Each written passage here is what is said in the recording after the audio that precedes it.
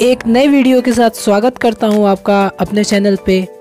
तो गाइज़ जैसा कि आप सभी को पता है कि सैमसंग ने हाल ही में ए सीरीज़ के तीन फ़ोन्स निकाले थे ए टेन ए थर्टी और ए फिफ्टी अब सैमसंग ने एक अपना नया फ़ोन लॉन्च किया है सैमसंग ए एट्टी हालाँकि जो अभी इंडिया में लॉन्च नहीं हुआ है तो आज के टॉपिक में हम सैमसंग ए एट्टी के बारे में बात करने वाले हैं कि वो इंडिया में कब लॉन्च होगा और उसकी क्या प्राइस होगी और उसके क्या स्पेसिफिकेशंस हैं। तो देर ना करते हुए चलिए वीडियो को स्टार्ट करते हैं।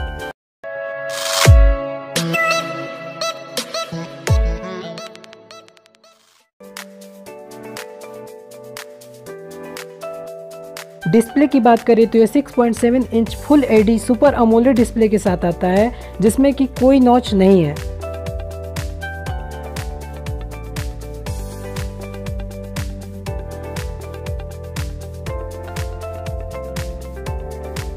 इस फ़ोन में सबसे ज़्यादा हाईलाइट किया गया है इसके कैमरे को।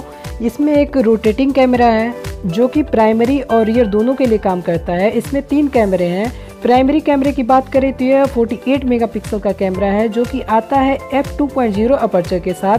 सेकेंडरी कैमरे की बात करें तो यह 8 मेगापिक्सल का है, जो कि अल्ट्रा वाइड एंगल के लिए होता है। और तीसरा कैमरा जो है वो 3D डेप्थ के लिए है।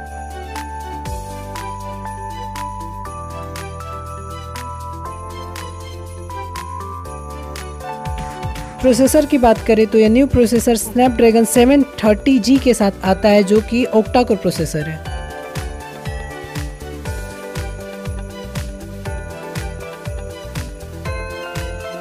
यह सैंतीस सौ की लाइव पॉलीमर बैटरी के साथ आता है, जो कि type C quick charging support करता है।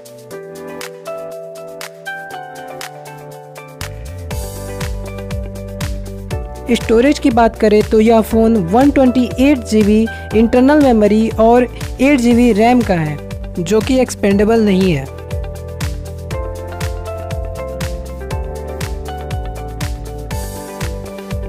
इसमें एंड्रॉयड पाई 9.0 एंड्रॉयड वर्जन है, जो कि रन करता है सैमसंग के वन यू पे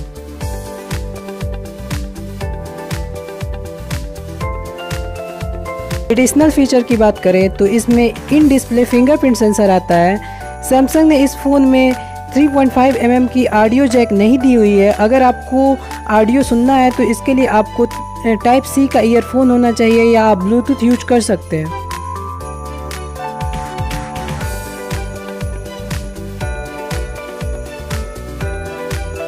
तो अब बात करते हैं इसके प्राइस की। इसके प्राइस की बात करें तो एक्सपेक्ट किया जा रहा है कि इसका जो प्राइस है वह तीस हज़ार से पचास हज़ार के बीच में हो सकता है। और रही बात इसके लॉन्च डेट की तो यह इंडिया में मई लास्ट तक लॉन्च हो जाएगा।